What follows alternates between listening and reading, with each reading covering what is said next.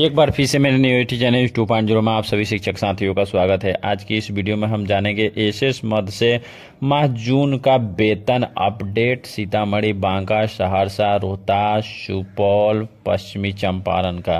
तो पूरी जानकारी के लिए वीडियो का अंत तक ज़रूर देखें। उससे पहले मेरे चैनल को अभी तक सब्सक्राइब नहीं किया तो कृपया चैनल को सब्सक्राइब कर ले और बेल आइकन को प्रेस कर दे ताकि आने वाले हर एक वीडियो का नोटिफिकेशन मिले। सबसे पहले आपको तो आइए देखते हैं वीडियो को विस्तार से। सीतामढ़ी जिला से मिली जानकारी के अनुसार एसएस मद का अभी सभी प्रखंड का विपत्र जमा नहीं होने के कारण वेतन भुगतान लंबित है। जिला टीम द्वारा यह आग्रह किया गया है कि जल्द से जल्द आप सभी विपत्र जमा करें ताकि धारणा में, यानी ग्यारह से पूर्व शिक्षकों का वेतन भुगतान कराया जा सके। वहीं सहरसा जिला से मिली जानकारी के अनुसार जीओबी का विपत्र आज बैंक में चला गया है। वहीं एसएस मद का पेपर वर्क हो रहा है। इसका भी उम्मीद है कि देर संध्या तक चला जाएगा और दो से तीन दिन में इसका भुगतान हो जाएगा। यानी इसी सप्ताह में इसका वेतन भुगतान कर दिया जाएगा। वहीं सुपौल जिला से मिली जानकारी के अनुसार आपको बता दें, माह जून के एसएस मद का सुपौल, किशनपुर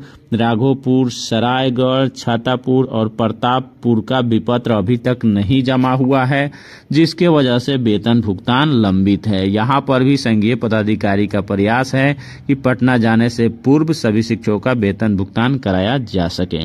वहीं पश्चिमी चंपारण जिला से मिली जानकारी के अनुसार आपको बता दें कि अगले सप्ताह में एस मद से माह जून का वेतन भुगतान होने की पूर्ण संभावना है। वहीं सीतामढ़ी जमा नहीं हुआ है। वहीं आपको बता दें बांका जिला में भी लगातार संघीय पदाधिकारी के द्वारा निवेदन किया जा रहा है कि सभी प्रखंड का विपत्र दो से तीन दिन के अंदर जल्द से जल्द जमा कराया जाए ताकि शिक्षकों का वेतन भुगतान ससमय कराया जा सके। वहीं बक्सर जिला से मिली जानकारी के अनुसार वहाँ पर भी सभी प्रखंड का विपत्र जमा नहीं हुआ है जिसके वजह से वेतन भुगतान लंबित है। आपको बता दें कि सिर्फ़ पटना जिला में माह का वेतन वेतन भुगतान कल हो चुका है। शेष जिला में अभी तक लंबित है कहीं पत्र जमा जमा नहीं हुआ है तो पर पेपर वर्क वर्क हुआ है। जिसके वजह वजह से माह जून का वेतन भुगतान एस एस मद का लंबित है। तो वीडियो में इतना